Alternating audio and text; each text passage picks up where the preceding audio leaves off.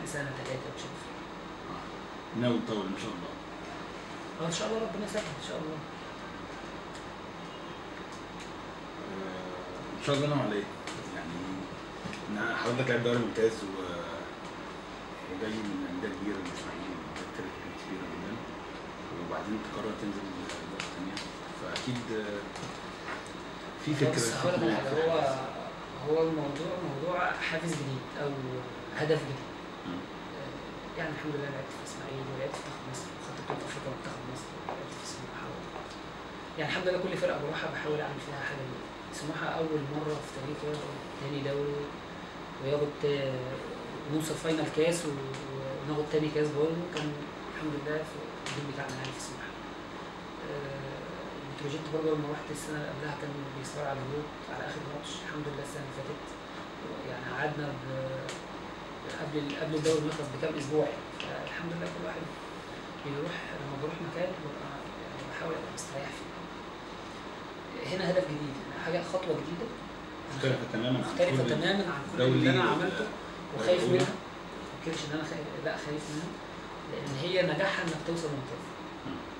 ودي آه، يعني أنا أظن إنها مش مش سهلة يعني. فا يعني آه الدوري الممتاز به دوري صعب. أسمع عنه إن هو أصعب من الممتاز يعني الواحد بيحاول يخوض تجربة جديدة في آه، بهدف جديد. بتجدد. عارف لما تجدد هدفك لما تلعب أنا ما بحبش ألعب أبقى موظف. بحب ألعب أبقى عندي هدف. أنت عند أنا عندي هدف إن إن شاء الله الفرقه دي تصعد اتمنى إن شاء الله. حضرتك أول مرة ليك في الدوري الممتاز آه،. آه، هل استعنت بأي حد خبرات سابقه ليه في الدوري الممتاز؟ تفهم تدرك إيه شكل التعامل؟ أكيد طبعا السيستم مختلف في التدريبات. والله أنا لسه ما يعني لسه طازة. يعني خلينا كده خدها مفاجاه إن شاء الله يعني هو عامة هتبقى الكرة هي واحدة في كل في كل يعني في كل الدرجات. درجه اولى أو ثالثه هي الكرة واحدة وال- والفنيات تقريبا هتبقى واحدة. الفكر يعني بتكلم على الفكر مش على التنفيذ. آه، موضوع بقى إنك إزاي تكسب وإزاي ده برضو إزاي تكسب دي هي دي النقطة؟ الدوري الممتاز إزاي تكسب وانت تكسب؟ في الممتاز به برضو إزاي تكسب وانت تكسب؟ دي مهمة. آه، ان شاء الله ربنا يسهل ونقدر نحققها أحلى موسم في حياتك كان إمتى؟ والله أحلى موسم تقريبا 2009 2010 في الاسماعيلي اسماعيلي في التسعة دخلت بعدين المنتخب على طول. لا أنا في أنا في المنتخب من زمان. الحمد لله أول سنة رحت فيها الاسماعيلي ورحت.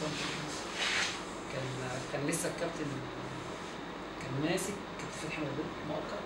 وبعد كده جابوا تربيني برضه رحت مع تربيني معسكر معسكرين آه، بعد كده مسك الكابتن آه، حسن شحاته أول معسكر كابتن حسن شحاته رحت وبعد كده بقيت أروح و- وأرجع أروح وما ألعبش. وبعد كده يعني رحت بقى.